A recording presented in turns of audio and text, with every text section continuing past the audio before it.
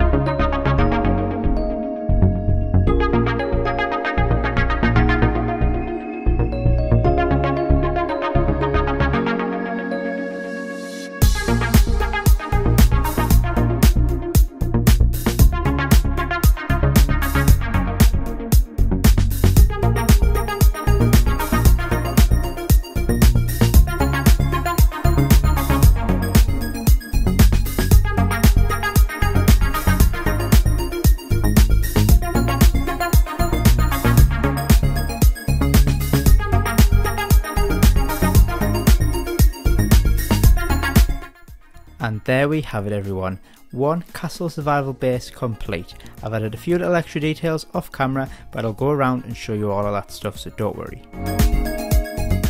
So if you go through our main front gate here of our flowery path, straight away you'll see to the left our lovely little stable and our all important nether portal in the corner. And as you can see, we've got a nice open courtyard right in the middle of our protective medieval style walls all around the base. I first didn't intend for this to be this big and it took a lot longer than I planned but I think it was worth the effort.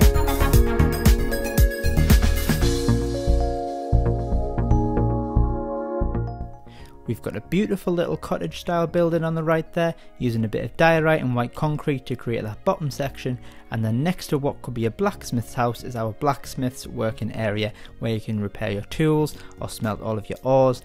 And next to that, we've got ourselves a lovely little vegetable patch with some lovely little carrots and beetroots to get you on your way along your survival adventure.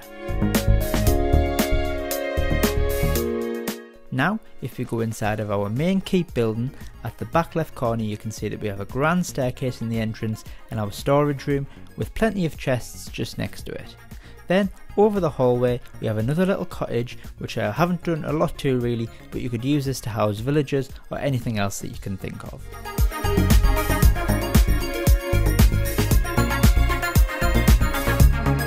Then, if we go a little bit further up our staircase, it's a little bit tight but it works, we can enter the main master bedroom. This is the room that I'm going to be shotgunning. we, uh, we've got a bit of storage in there, we've got an armour stand and a huge triple bed for you to rest after you've worked hard building a huge castle survival base like this one. Then, in the very top of the castle keep, we have our enchantment room. I haven't done an awful lot in here, there's lots more stuff I could do here, but the basics are there to get you started with all of your enchantment needs.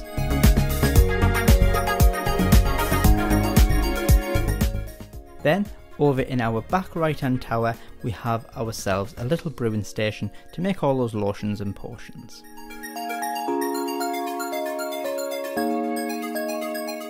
Then, if we return down from our portions tower into our blacksmith's cottage, you can see that there's a few furnaces, crafting tables, a few bits and bobs, extra storage, and of course a ladder up into the corner tower, which we have on every tower in the base. And there we have it guys, our castle survival base complete. It could have done with a bit more interior work, so if you have any interior tips, let me know and I'll do it on future builds. I hope you enjoyed this video. Let me know down below what you think. If you want to see more, hit that subscribe button, drop the video a like, you're all amazing, and until next time guys, tatty bye.